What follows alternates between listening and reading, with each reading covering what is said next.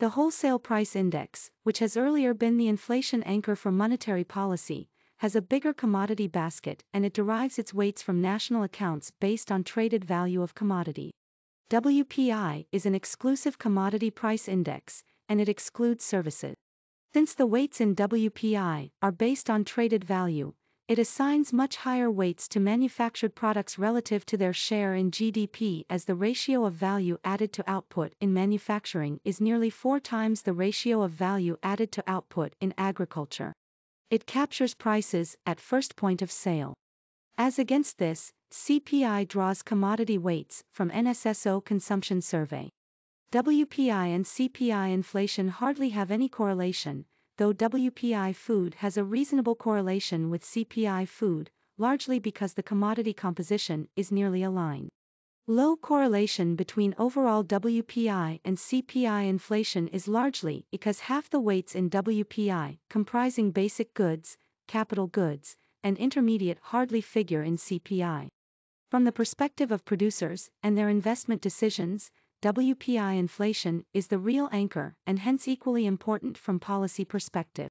Further, since it represents inflation for producers and serves as the first point of changes in prices, it captures impact of international commodity prices. High correlation between WPI and CPI for food and WPI being the sole indicator of price movements of basic, intermediate, and capital goods, it is helpful in deciding structural intervention in trade and fiscal policy. WPI inflation has been more volatile than CPI. Until 2020 to 21, WPI inflation was lower than CPI across all segments other than food. Lower producer inflation relative to the price rise for consumers indicates generally increased profitability for producers and increased margins for final retailers. However, available data does not indicate existence of significant pricing power except during the lockdown period for listed companies and those engaged in sale of food items. This trend is supported by data on overall profit after tax to sales, which has moderated for non-government public limited companies and industries engaged in machinery and equipment between 2015 to 16 to 2018 to 19. It is possible that moderate and negative inflation in the basic goods in most part of the last seven years would have contributed to this inflation scenario. Another notable factor is that inflation in capital goods has remained moderate and relatively stable during these years even though there has been volatility in inflation of basic goods and intermediate. The capital goods industry has maintained prices adjusting their margin. The scenario sees changes after the pandemic. The ratio of profit after sales of listed companies during the pandemic more than doubled from 3% to 7.2% despite decline in sale.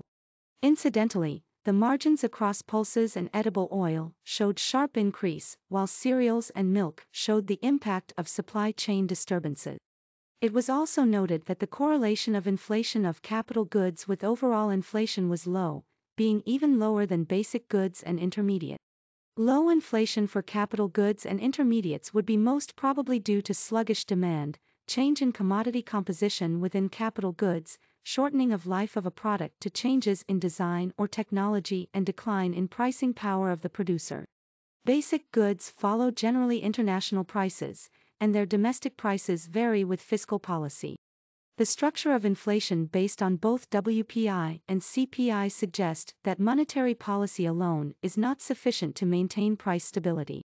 While monetary policy should act irrespective of what triggers inflation, supply shocks should be handled through fiscal route. It is seen that subgroups of basic goods, capital goods, intermediate, consumer durables and consumer non-food non-durables have moved in a narrow range in the past seven years the indicators for basic goods have witnessed greater volatility, while for others, they remain steady. Long-term trend suggests management of domestic supply in spite of global commodity price movements is equally important in managing inflation in India. Since the onset of the pandemic, the RBI has been addressing systemic liquidity, concerns of specific sectors and has been keeping interest rates low. Along with active fiscal support from the government, this would make the economy reach GDP levels of March 2020 by March 2022. What is needed to take growth to a higher orbit is pickup in investment. The trend in this is encouraging as GFCF at current price has reached 31.2% in Q4 of 2020 to 21. This is the highest so far in the past 27 quarters. The improvement in GFCF together with rebuilding of inventory levels gives some comfort that excess liquidity has not created bubble. A bit of negative information is that consumer confidence is still struggling to improve. Another uncomfortable news is that urban unemployment rates are at 9.3% according to periodic labor force survey report of Q4 of 2020 to 21. All these pose dilemmas for monetary policy. There may be a justifiable view that the RBI needs to end the accommodative monetary stance and revise policy rates upward because of sticky core inflation and improved performance based on high frequency indicator.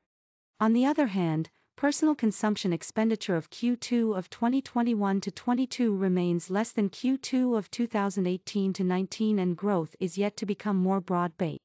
In Q2 of 2021 to 22, buoyancy in growth was on account of public administration, defense and other services.